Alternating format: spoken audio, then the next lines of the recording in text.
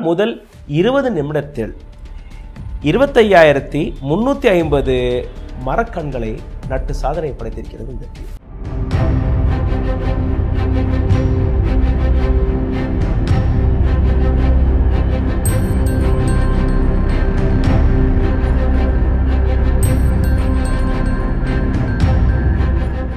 இருபத்தையாயிரம் கண்கள் வெறும் இருபது நிமிஷத்துக்குள்ளங்கிறது வந்து ஒரு மிகப்பெரிய சாதனை. ஆறாவது நாள் தான் வந்து சார் கின்னஸ் ரெக்கார்ட் பண்ணணும்.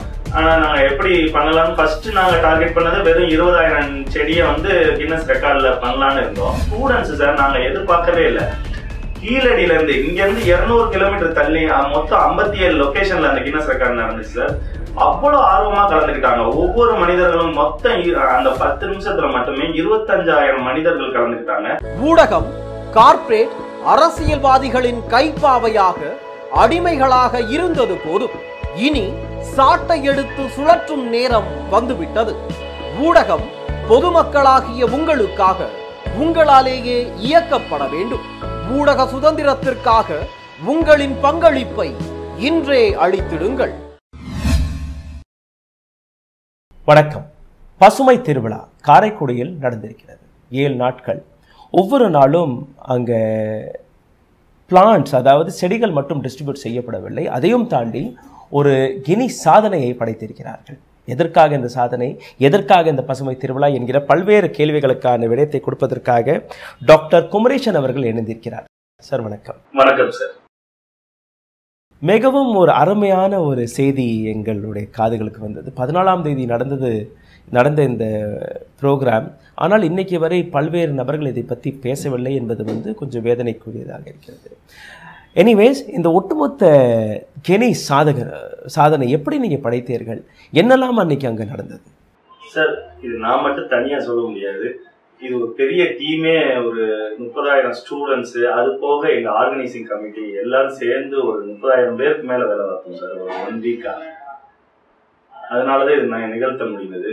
ஆக்சுவலா இது ஸ்டார்டிங் அப்படின்னா ஒரு எங்க சிவகங்கை மாவட்டம் பொறுத்த வரைக்கும் இது எங்க இருந்து வந்துச்சுன்னா சிவகங்கை மாவட்டம் வந்து ஒரு விவசாய பூமி ஒரு ம- மலை பார்த்த மலை பார்த்த மண் பார்த்த மலை அந்த விவசாய பூமி. வானம் பார்த்த பூமி. வானம் பார்த்த பூமி. சாரி சார் வானம் பார்த்த பூமி.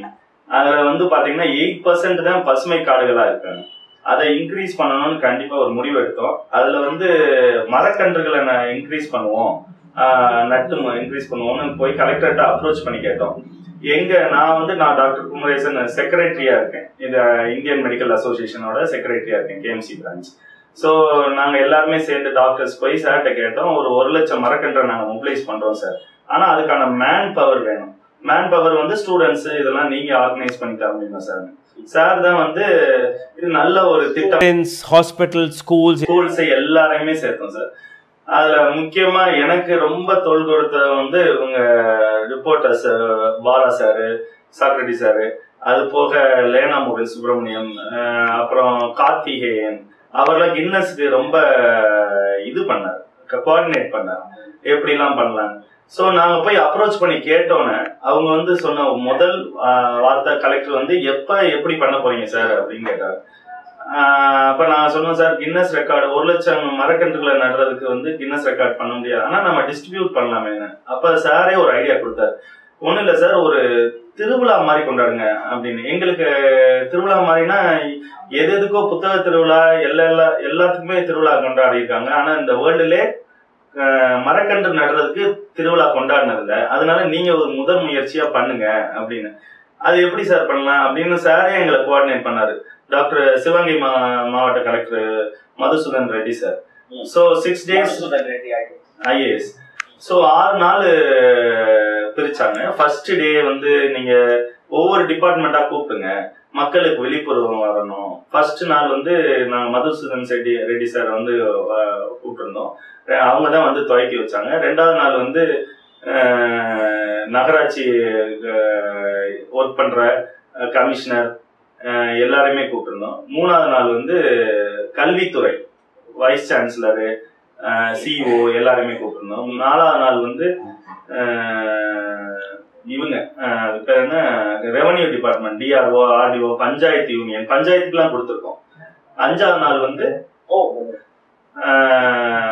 இவங்க போலீஸ் டிபார்ட்மெண்ட் ஆறாவது நாள் தான் வந்து சார் கின்னஸ் ரெக்கார்ட் பண்ணணும். ஆனா நாங்கள் எப்படி பண்ணலாம்னு ஃபர்ஸ்ட் நாங்கள் டார்கெட் பண்ணது வெறும் இருபதாயிரம் செடியை வந்து கின்னஸ் ரெக்கார்டில் பண்ணலான்னு இருந்தோம். ஆனா சார் என்ன சொன்னாங்கன்னா நீங்கள் ஒரு லட்சம் மரக்கன்று கொடுத்துருக்கீங்க. அதனால ஃபர்ஸ்ட் டேல நீங்கள் கொடுக்க ஆரம்பிங்க. யாராச்சும் விருப்பப்பட்டாங்கன்னா நீங்க பதினாலாம் தேதி இந்த ஃபங்க்ஷன் வந்து ஒன்பதுல இருந்து பதினாலு வரைக்கும் நடந்துச்சு. பதினாலாம் தேதி பதினோரு மணிக்கு நீங்க போட்டோ எடுத்து எங்களுக்கு அனுப்பிச்சீங்கன்னா உங்களையும் கின்னஸ்ல இடம்பெறும். மக்கள் ரொம்ப ஆர்வமா நாங்க ஃபர்ஸ்ட் நினைச்சோம் ஆர்வமா வருவாங்களான்னு. ஆனா எல்லா டிபார்ட்மெண்ட்டையும் உள்ள இருந்தோம்னா எல்லாருமே ரொம்ப விழிப்புணர்வா ஆனாங்க ஆக்சுவலா எங்களுக்கு வந்து காணொளிய ம். இந்த காணொலியை பார்க்கக்கூடிய நபர்கள் இது வந்து ஒரு ரொம்ப சீரியஸான ஒரு விஷயம் எடுத்து பார்க்கணும். பிகாஸ் டெக்னாலஜி எப்படி பயன்படுத்தி ஒரு மிகப்பெரிய கின்னிஸ் சாதனையை இந்த ஒரு டீம் படைத்திருக்கிறது என்று நான் கேட்கும்போதே ரொம்பவே ஒரு ஆர்வமாக இருந்தது. எப்படி இத்தனை கண்களை வந்து நீங்கள் நட்டேர்கள் என்கிற ஒரு கேள்வி நான் எடுத்து வைக்கும்போது கார்த்திகேயன் எனக்கு கொடுத்த பதில் தட் ஜிபிஎஸ் மேப்பிங் கேமரா என்கிற ஒரு ஆப் இருக்குது அந்த ஆப் வழியாக நாங்கள் எல்லாருமே இணைச்சோம். ஏற்கனவே நாங்கள் மரக்கண்களை கொடுத்துருந்தோம். பத்துலேருந்து பத் சாரி பதினோரு மணிலேருந்து பதினோரு பத்து மணிக்குள்ள எத்தனை கண்களை நீங்கள் நடுறீர்களோ அந்த கண்களுக்கான ஃபோட்டோ ஆட்டோமேட்டிக்கலாகவே அந்த ஆப்பில் போய் ஏறிடும் அந்த ஃபோட்டோவை ஏற்றி நீங்கள் எங்களுக்கு அனுப்பலாம்ங்கிற ஒரு டெக்னாலஜி இவங்க பயன்படுத்தியிருக்காங்க. ஆனால் முதல் இருபது நிமிடத்தில் இருபத்தையாயிரத்தி முந்நூற்றி ஐம்பது மரக்கண்களை நட்டு சாதனை படைத்திருக்கிறது இந்த டீம் சார் இதுக்கு மேலே நீங்கள் அடுத்த லெவல் ஏன்னா ரொம்பவே ஒரு இருபத்தையாயிரம் கண்கள் வெறும் இருபது நிமிஷத்துலங்கிறது வந்து ஒரு மிகப்பெரிய சாதனை. அதுவும் டெக்னாலஜி நீங்கள் பயன்படுத்தியிருக்கிறீர்கள். பர் பல்வேறு துறையை சார்ந்த நபர்களை இதில் நீங்கள் இணைத்திருக்கிறீர்கள். உதாரணத்திற்கு பள்ளிக்கூடங்கள் ஸ்டூடெண்ட் மாணவர்கள் ஹாஸ்பிட்டல்ஸ் அங்கே இருக்கக்கூடிய யூனோ போலீஸ் டிபார்ட்மெண்ட்லேருந்து பல்வேறு துறைகள். ஒரு எல்லாருமே இணைந்து ஒரு மிகப்பெரிய திருவிழாவை கொண்டாடி இருக்கிறீர்கள் அதுவும் பசுமை திருவிழா. ரைட் ஸோ பாராட்டுக்கள் உங்களுக்கு. இதை தாண்டி ஏற்கனவே ஐ திங்க் கெனிஸ்லேருந்து இன்னும் உங்களுக்கு சர்டிஃபிகேட் வரல அப்ரூவல் வரல.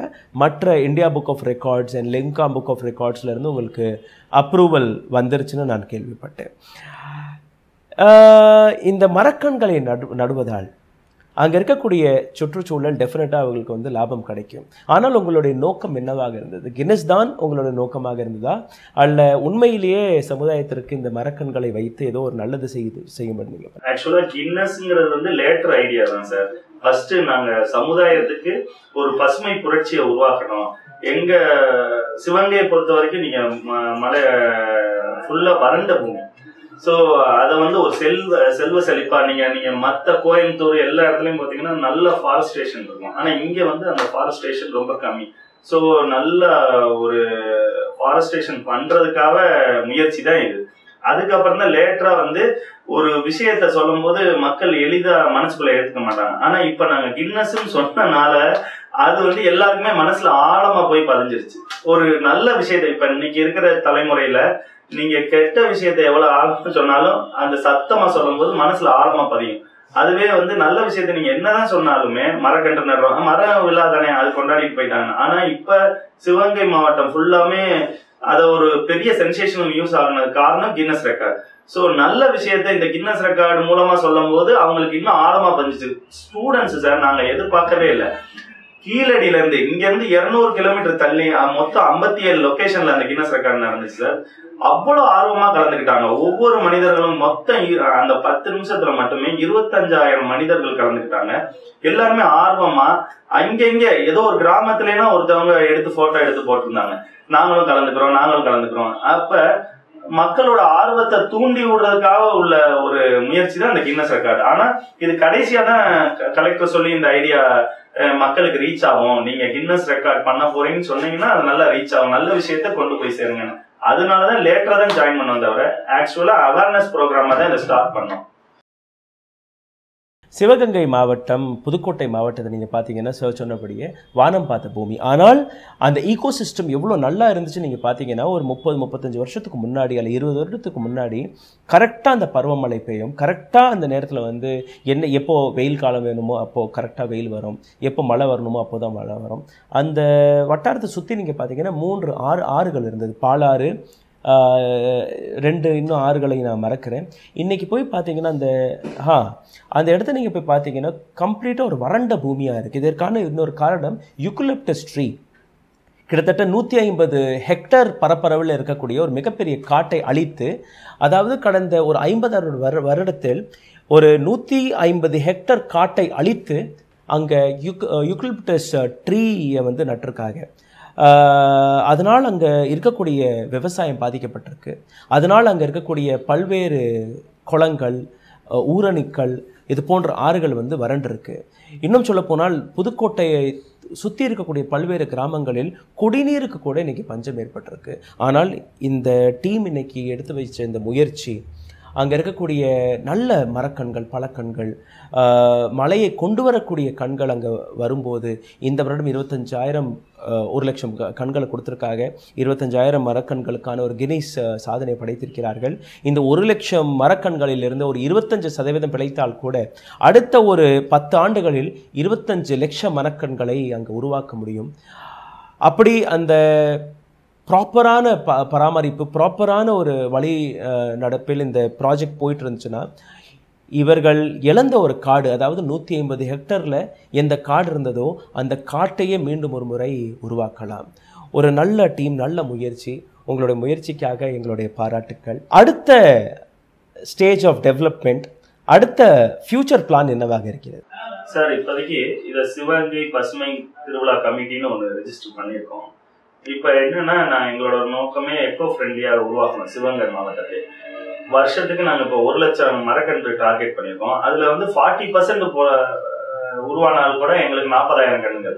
இதே தொலைநோக்கோட நாங்கள் போனோம்னா ஏ- ஏழுலேருந்து பத்து வருஷத்துல கண்டிப்பாக ஒரு பசுமை சிவகங்கையா சிவகங்கையாக மாற்றிடுவோம் இதே மாதிரி எல்லா டிஸ்ட்ரிக்ட்லயும் ட்ரை பண்ணாங்கன்னா கண்டிப்பா பசுமை தமிழ்நாடாவே மாறிடும்.